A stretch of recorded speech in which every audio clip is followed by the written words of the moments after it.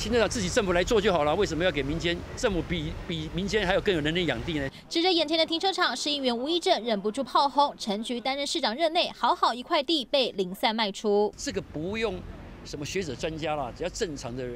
对土地有基本概念的人，你怎么会好一块地都来卖呢？黑人可以担吗？市议员话不留情面，因为来看看这一大块土地有上千平，右边这边有三百一十六平被切开，先给捷运局要做 TOD 周边开发，但捷运局不用卖给建设公司去经营停车场。但另外一头幼儿园的业者在这边承租了三十年，想要买，市府却说要保留完整性，所以不卖。但旁边这一块土地却出租给其他业者用来做机车停车场，逻辑上自相矛盾。是整块都市政府的，你切一段去卖也卖不到好价格，那你这边的价格也下降了，你的价格不变，你因为整块你是可以国际招商的。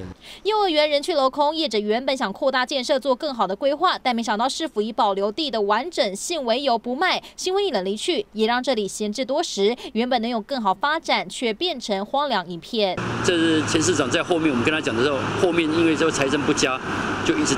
大量的一个卖出土地哈，那这个我们挡也挡不住，因为要全面执政，包括议会都全面是他们的人哈。卖的不卖，不该卖的切割去卖。高师傅之前卖出的土地多得吓人，有名嘴爆料，陈局任内高师傅过去四年卖地约十三万平，面积相当于一个梵蒂冈，一点六四个大安森林公园，五十二个足球场。陈局任内十二年总计偿还的债务六百一十八亿元，但狂卖土地却还负债三千亿。韩国瑜上任，政策大转弯，打算出租地上权。活化土地利用价值与前朝不同调，怎么做才能有效增加市库收入？考验新市府团对。记者林正燕、潘颖文高雄报道。